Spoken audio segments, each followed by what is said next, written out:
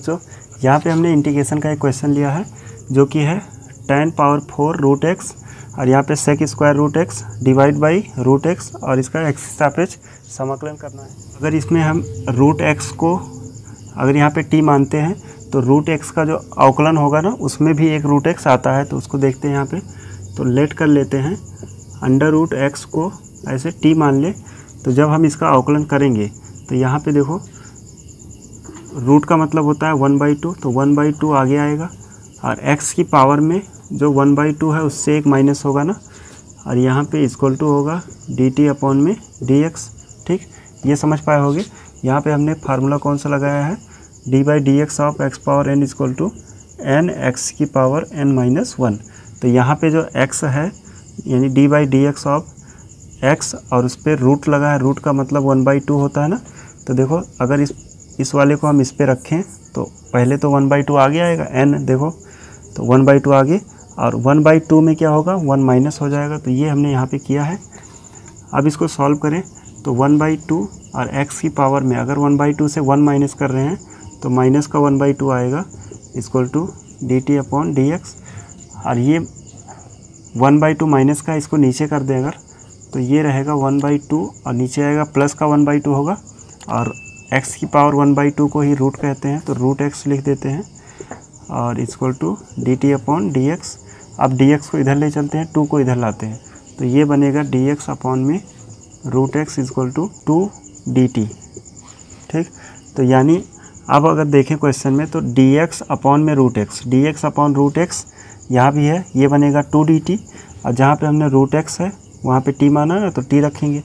अब अगर हम ये D X upon root X equal to two D T और जहाँ पे रूट एक्स है, वहाँ पे टी पुट करें तो ये क्वेश्चन हो जाएगा ऊपर से, देखो। यहाँ पे टेन पावर फोर वैसे रहा। टेन उसकी पावर फोर रूट एक्स है तो रूट एक्स बराबर टी माना गया है टी रख दिए। और यहाँ पे है सेक स्क्वायर ठीक? और रूट एक्स है तो टी रहे। और यहाँ पे D X upon root X D X upon root X ये बन जाएगा टू डी टी तो यहाँ पे टू डी टी ठीक? अब यहाँ देखें तो इनमें टू कांस्टेंट है, बाहर कर दे। तो जब टू बाहर आएगा तो इंटीग्रेशन करना पड़ेगा हमें टेन पावर में फोर टी और इंटू में sec square T D T ठीक? अब यहाँ पे फिर से हमें कुछ मानना पड़ेगा, क्योंकि यहाँ पे जो टेन टी है ना, उसी का अवकलन बगल में दिया है। टेन टी का जब अवकलन करते हैं टी के सापेक्ष तो सेक स्क्वायर टी आ जाएगा, ठीक? तो यानी फिर से टेन टी को कुछ मानना पड़ेगा।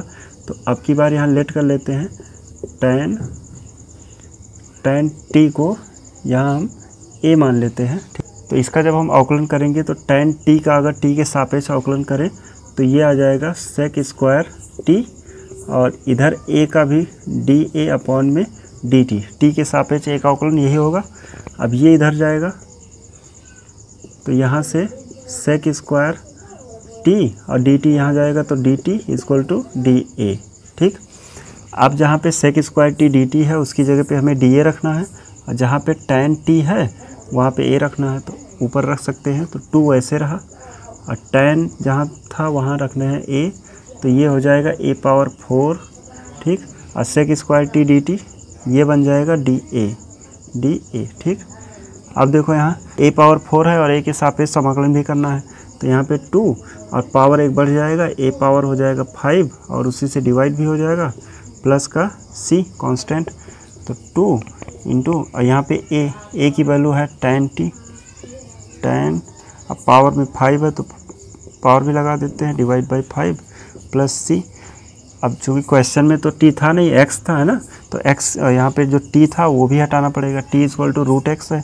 तो फाइनल में जो इसका आंसर आएगा, वो टू और टेन पावर फाइव टी की जगह पे रूट एक्स हो गया, और डिवाइड बाई फाइव ये रहेगा।